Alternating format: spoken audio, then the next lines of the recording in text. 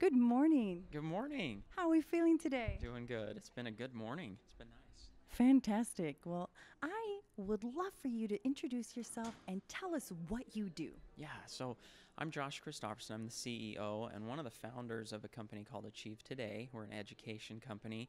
I also uh, started a company that's a software business, and it's called iCUE Technology. And the two businesses work hand in hand to deliver education to students, employees, companies, a lot of different businesses. Amazing. Now, how did you get into this work? Uh, it actually started, man, probably close to 20 years ago. My partner and I uh, were in the education space with a different business, and we were delivering uh, content and learning through coaching and one on one education. And over the period of about a decade, we found that students would go through it, the, the training that we taught, but the thing that set them apart from others was their internal beliefs, their habits, their limiting beliefs about themselves, and things that held them back in life. And so, discovering that and watching it over the years, we decided to start Achieve Today, which essentially was a focus on limiting beliefs and blocks and helping students overcome those things and discover them and then move past them. And uh, we've, we've been running Achieve now for uh, probably about seven years. We have around 80 employees now.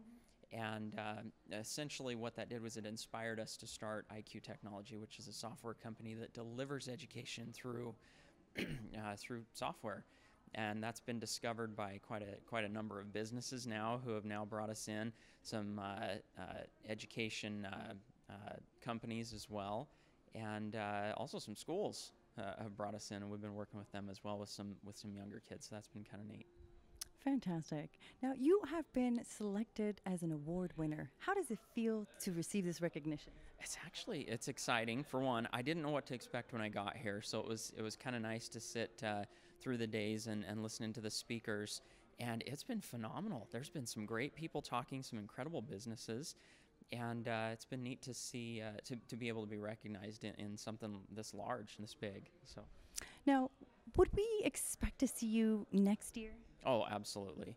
Absolutely, this has been good. There's been some good things to learn. So, like I said, the the uh, conversations that have been had in some of these uh, previous meetings, they've, been educational to me, but also helped me open up my mind to uh, some other industries and some other places where we can make a difference in the world. Our company's vision is a, a world without limits, and I've seen uh, some similarities in some of the companies that are here as well. And so, it, it's I was actually thinking about that this morning that I definitely want to come back and you know keep being a part of it. Amazing. We're delighted to hear that now. How can we stay in touch we want to learn more about the work you're doing?